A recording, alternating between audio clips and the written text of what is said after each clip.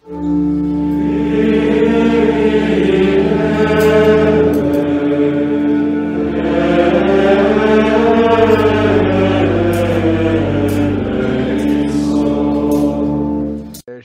Boże, y, dobry wieczór lub dzień dobry, to już 35. przegląd tradycjonalistyczny.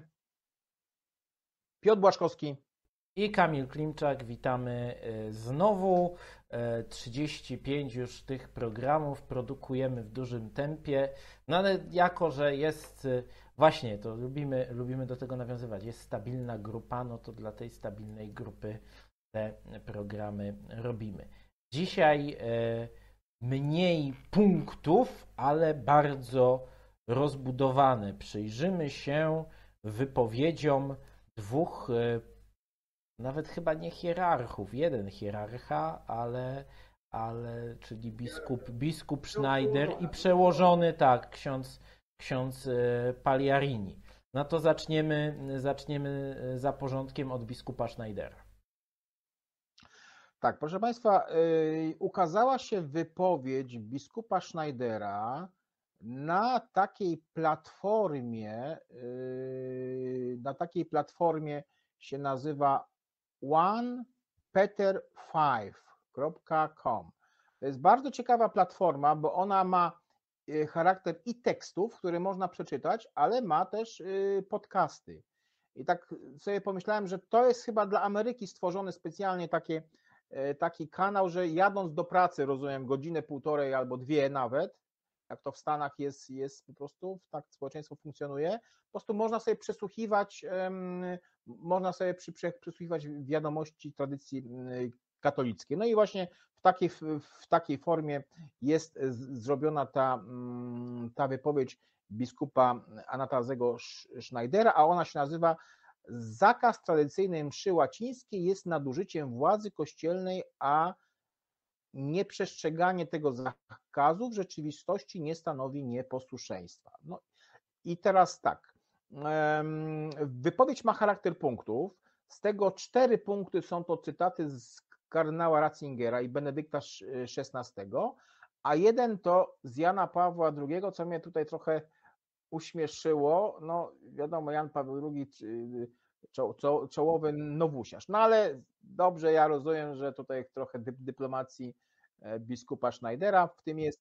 Więc tak, y, przytoczę punkt, zacznę od punktu ósmego. I co pisze mm, biskup? Papież, papież i biskupi nie, ma, nie mają w związku y, z, z tym, z powyższym, ym, autorytetu do zakazywania lub ograniczania tak, tak czcigodnej formy mszy świętej. Punkt dziewiąty. Tutaj jeszcze to, co było niepotrzebne, to ucięłem. Punkt, punkt dziew- dziewiąty. Godzenie się ze, stanowi, ze, ze stanowiącym nadużycie zakazem tej czcigodnej formy mszy świętej, wydanym nieszczęśliwie przez obecnych ludzi Kościoła w czasie bezprecedensowego kościelnego kryzysu, byłoby fałszywym posłuszeństwem.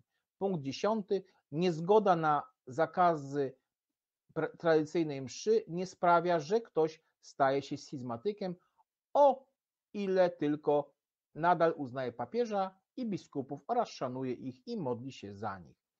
I punkt jedenasty, będąc formalnie nieposłusznym t- tak niesłychanemu zakazu y, niezbywalnego dziedzictwa Kościoła rzymskiego, jest się w istocie posłusznym Kościołowi katolickiemu wszystkich czasów oraz wszystkim papieżom, którzy starannie celebrowali tę czcigodną i kanonizowaną formę mszy i nakazywali jej zachowanie.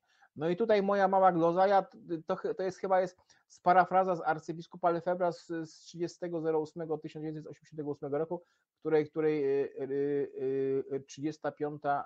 rocznica przypada z, z, z wyświęcenia biskupów, więc bo to dokładnie takich samych argumentów używał arcybiskup, więc podejrzewam, że biskup Schneider no, jakby skorzy- skorzystał z tego. Y, I punkt 12. Obecny zakaz tradycyjnego rytu mszy jest fenomenem tymczasowym, który ustanie. Kościół rzymski doświadcza dziś swoistego liturgicznego wygnania.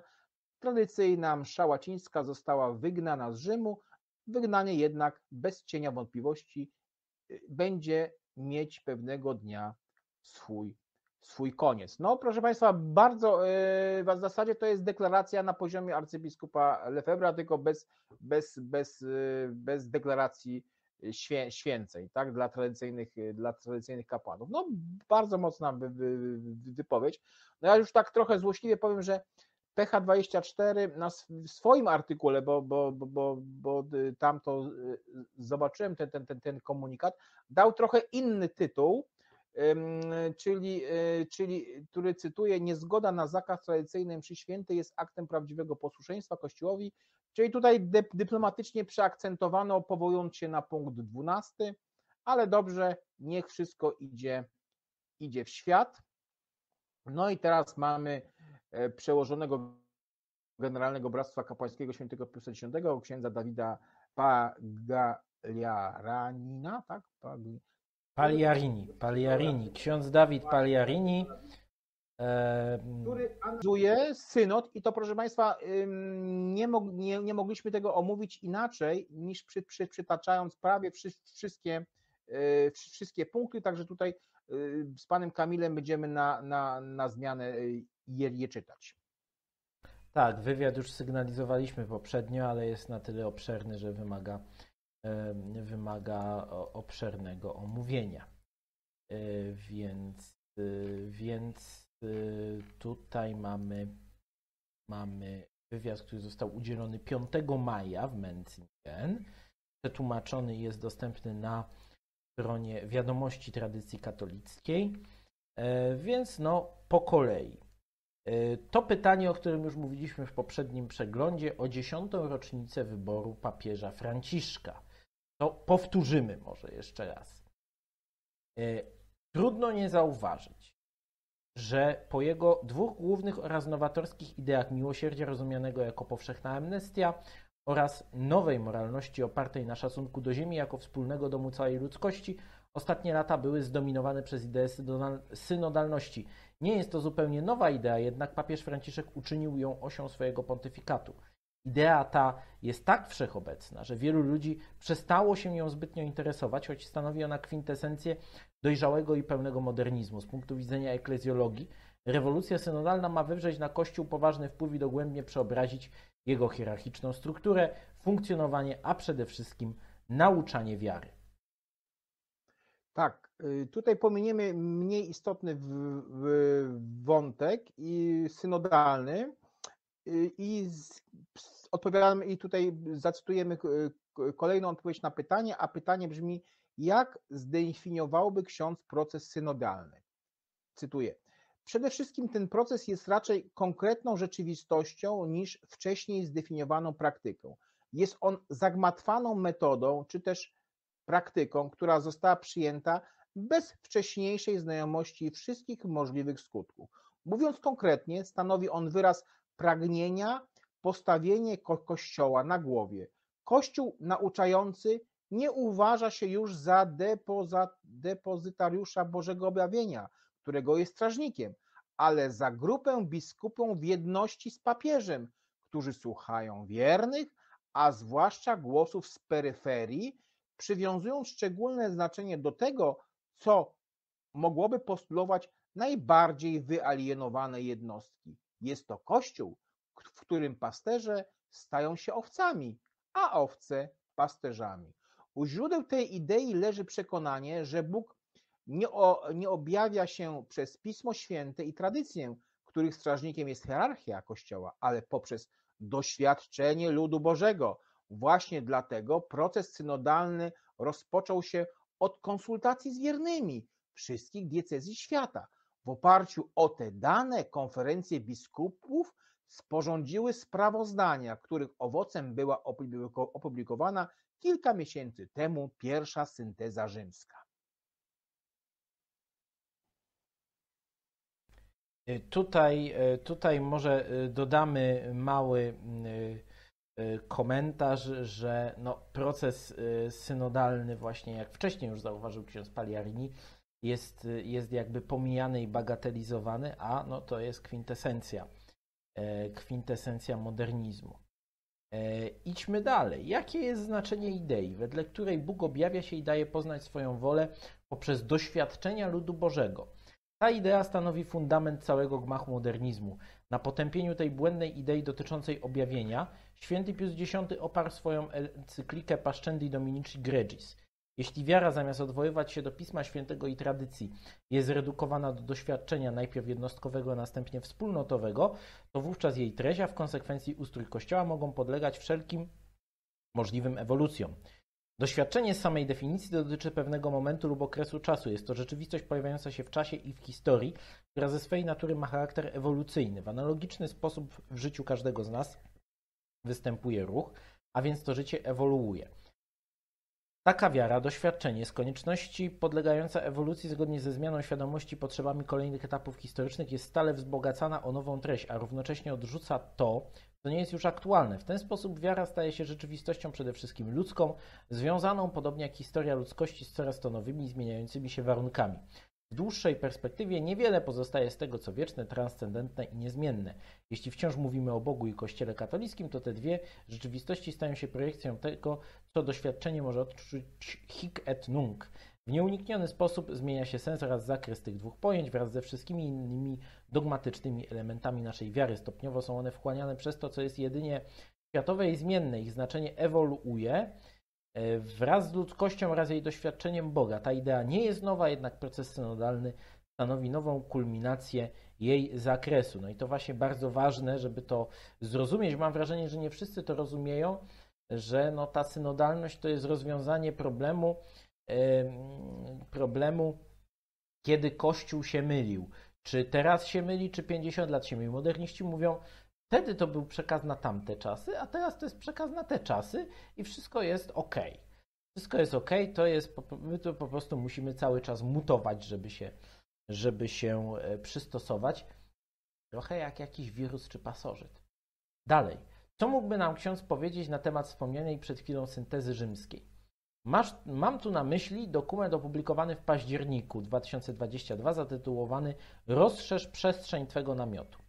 Jest to dokument roboczy etapu kontynentalnego synodu, a więc przeznaczony dla biskupów spotykających się na poszczególnych kontynentach.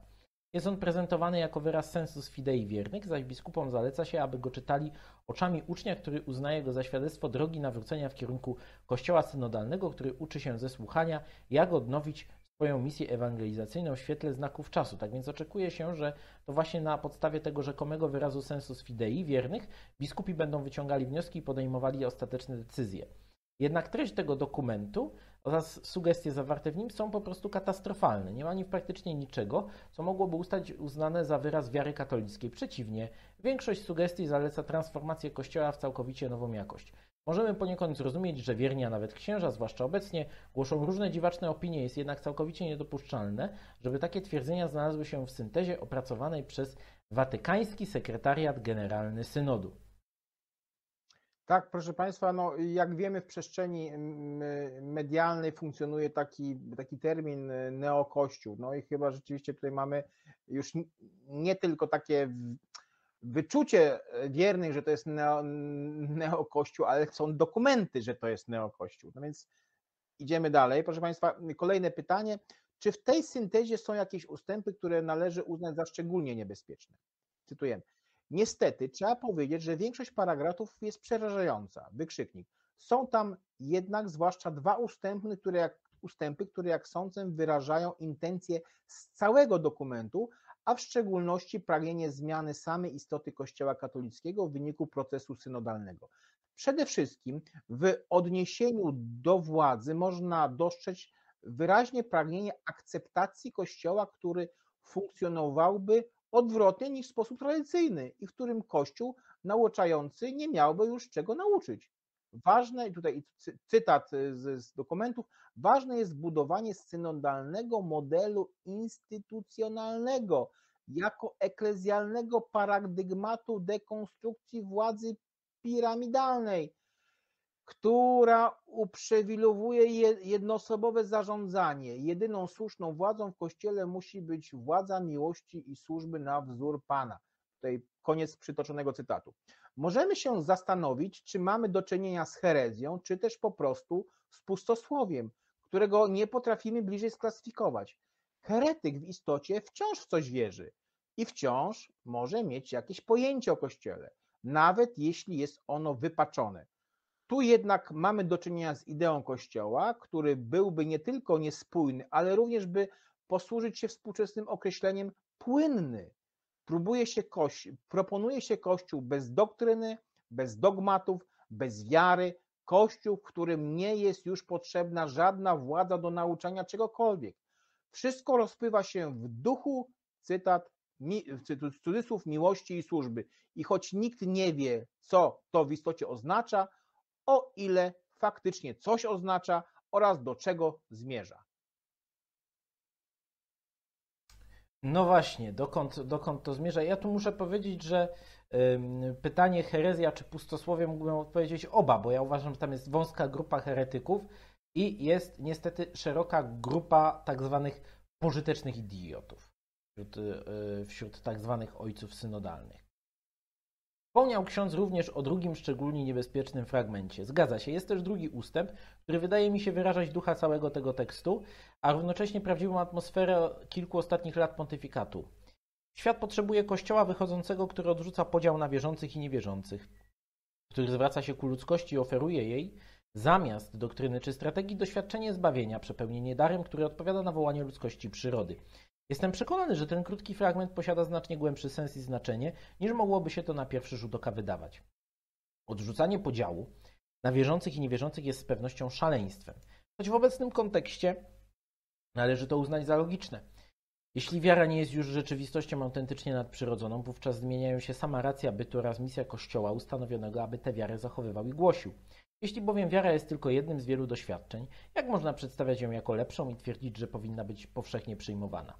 Po prostu uczucie, doświadczenie nie może odpowiadać prawdzie absolutnej. Posiada jedynie wartość opinii, która nie może być już prawdą w tradycyjnym sensie tego słowa. Logicznie prowadzi nas to do odrzucenia podziału na wierzących i niewierzących.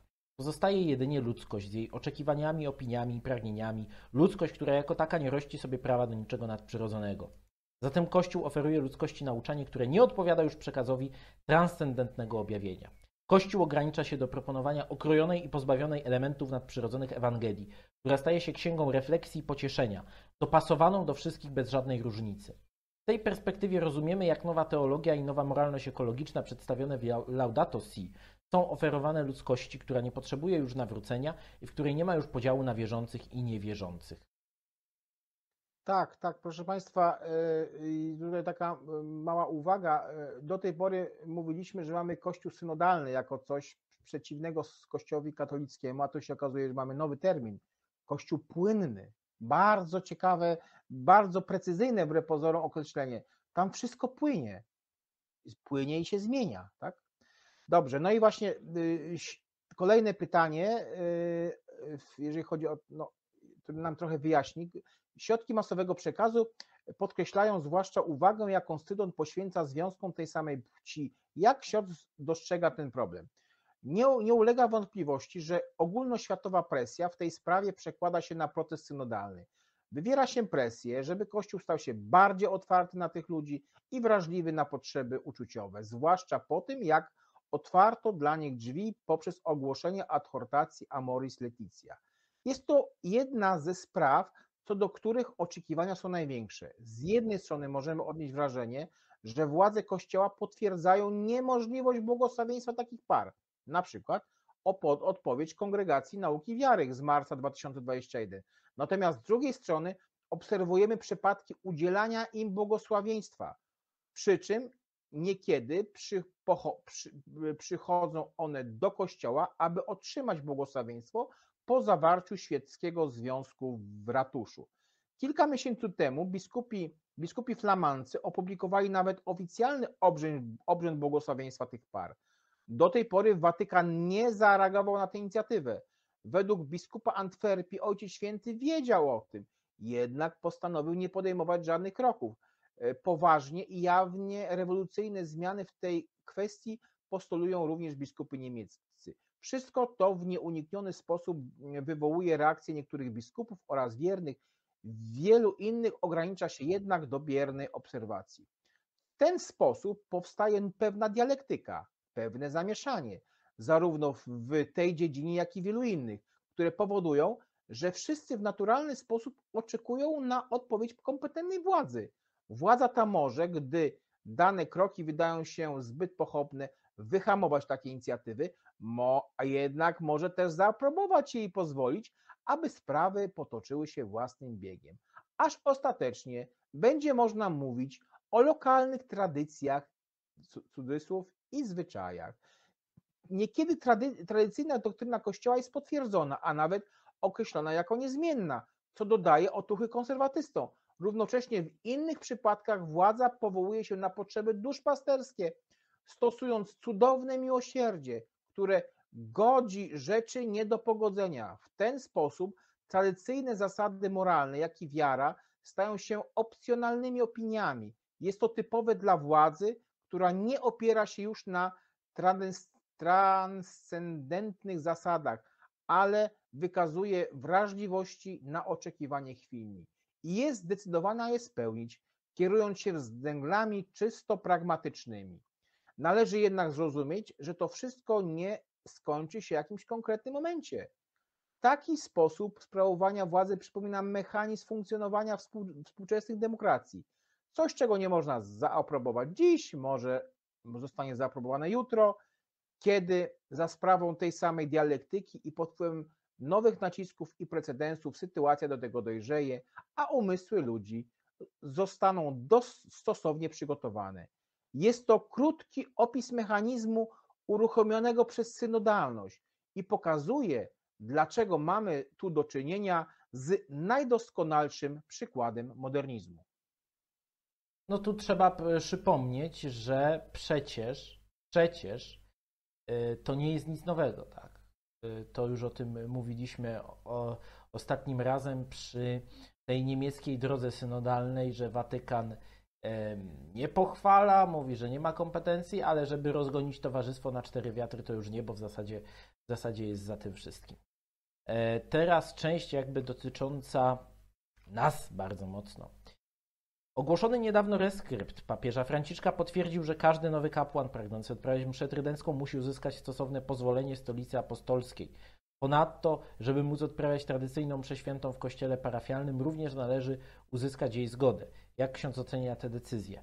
Myślę, że nie trzeba być szczególnie doświadczonym ekspertem, aby dostrzec, dostrzec wyraźną chęć wyrugowania tradycyjnej mszy świętej.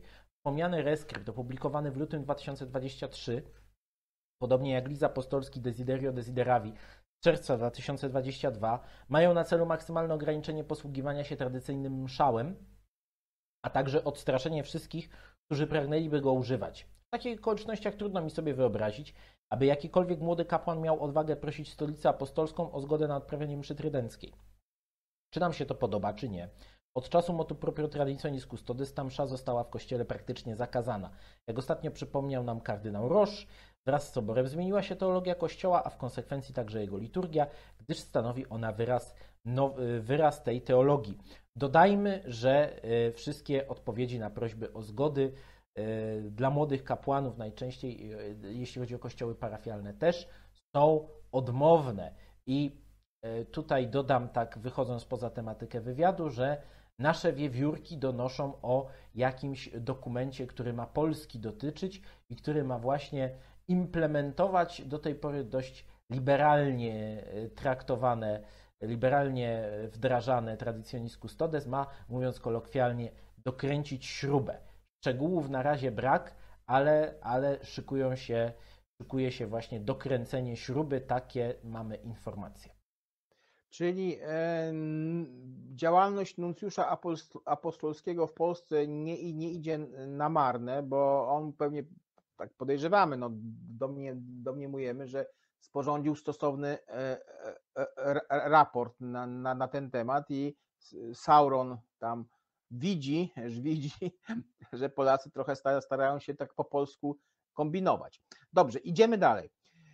Kolejne pytanie. W tej sytuacji różne wspólnoty Ecclesia Dei odczuwają zaniepokojenie oraz niepewność co do swojej przyszłości. Słyszy się, że niebawem ma zostać ogłoszony nowy dokument papieski dotyczący właśnie ich.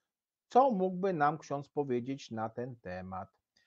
Nie wiem, nic nie wiem na temat tego dokumentu. Myślę jednak, że nie można przeżywać swego kapłaństwa w sposób satysfakcjonujący, godząc się z tym, że nad naszą głową nieustannie wisi miecz Demoklesa.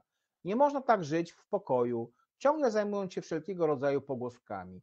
Kapłan powinien żyć zjednoczony ze swoją mszą, nie musząc zastanawiać się, czy jutro go przełożeni pozwolą mu ją odprawiać. Ma troszczyć się przede wszystkim o dzielenie się z innymi duszami tym wielkim skarbem, bez nieustającej obawy, że, że sam zostanie go pozbawiony, czy też żyjąc nadzieją na cud, który pozwoli mu wybrnąć z obecnej niepewnej sytuacji.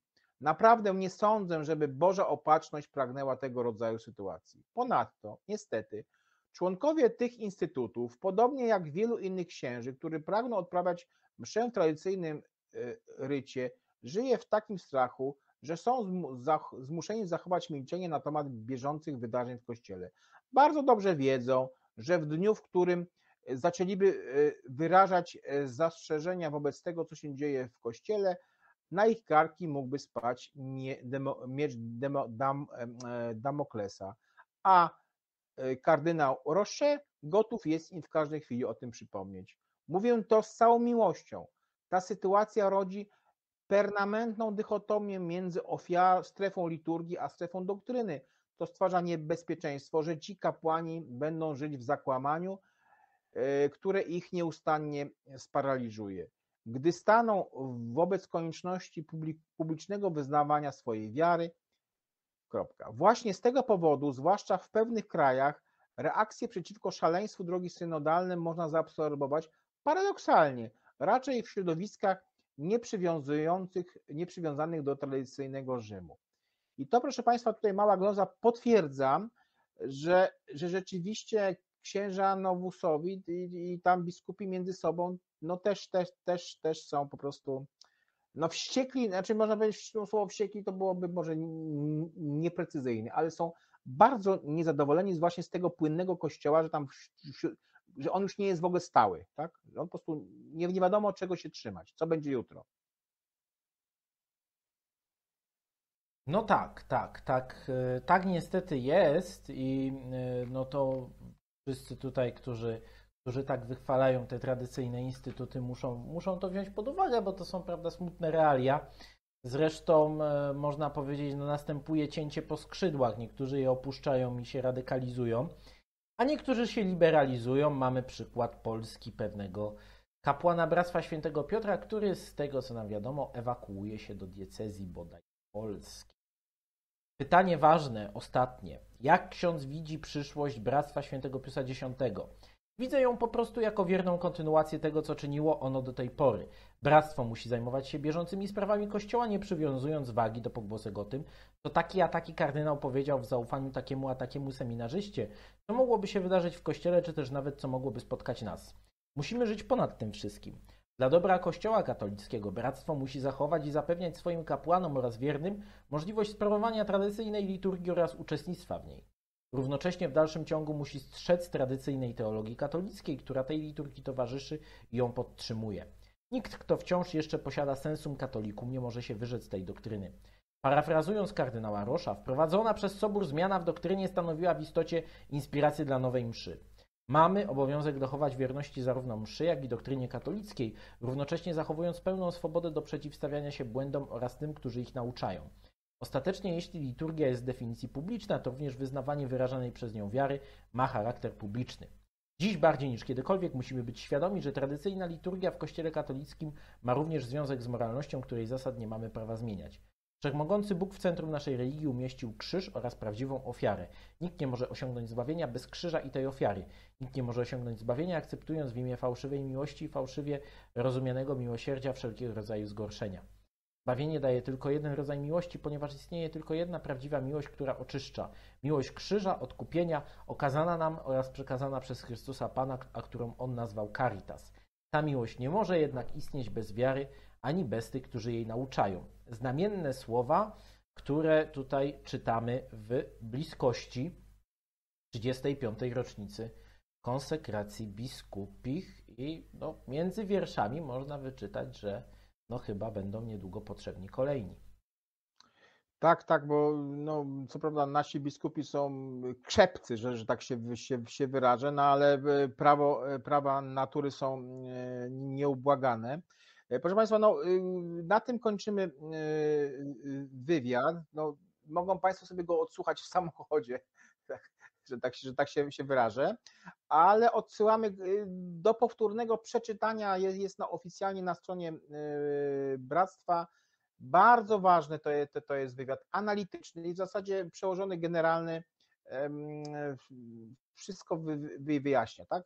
Bardzo precyzyjnie definiuje, definiuje e, proces synodalny jako proces płynny i w zasadzie to jest kwintesencja tego, tego, tego co, co widzimy, no ale a księży, ja powiem tak, no ja dzisiaj widziałem na parkingu przy, przy kościelnym księdza e, Mateusza z archidiecezji gdańskiej, który po roku bycia na, w parafii, gdzie, gdzie cytuję, była profanacja za profanacją, gdzie było, kiedy on przyszedł, było trzech wikarek, dwóch, dwóch porzuciło kapłaństwo, a on przyszedł do bractwa i to po prostu no, no, no to jest chyba chyba jedyna alternatywa. No, arcybiskup był jakby dotknięty palcem Bożym i, i zrobił to właśnie po to, żeby, żebyśmy dzisiaj mieli trochę spokoju, tak? żebyśmy w tej tradycji katolickiej sformalizowanej przez bractwo mieli po prostu spokój. Tak? Nie denerwujemy się jak ci, którzy są po, po, po tamtej stronie, no bo mamy wszystko w miarę, w miarę z, z, zdefiniowaną, zdefiniowane.